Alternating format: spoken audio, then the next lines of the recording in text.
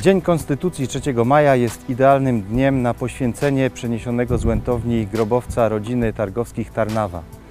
Spoczął tutaj Bolesław Targowski, wnuk samego adiutanta generała Tadeusza Kościuszki. Bolesław był działaczem społecznym i niepodległościowym. Prowadząc dwór i wychowując swoje dzieci, wzorował się na swoim pobożnym ojcu Erazmie, który dbał o kult Matki Bożej Śnieżnej i zapoczątkował sierpniowe odpusty. Bolesław jako młody student został aresztowany za udzielanie pomocy powstańcom styczniowym w 1863 roku. Siedział w więzieniach w Krakowie i Nowym Wiśniczu. Y, Bolesław Targowski zmarł w 1928 roku i został pochowany w grobowcu na ówczesnym cmentarzu parafii Łętownia. Spoczywa tutaj również Juliusz Targowski, jedyny syn kapitana Mieczysława Targowskiego. Zmarł w 1919 roku na epidemię czerwonki. Pozostawił ród Targowskich bezpotomny.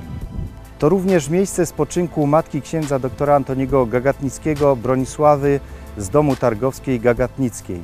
Wcześniej owdowiała, samotnie wychowywała swoje dzieci. Dzisiejsze wydarzenie, zainicjowane dzięki wójtowi gminy Tokaria Markowi Klusce, wpisuje się w karty historii naszej miejscowości.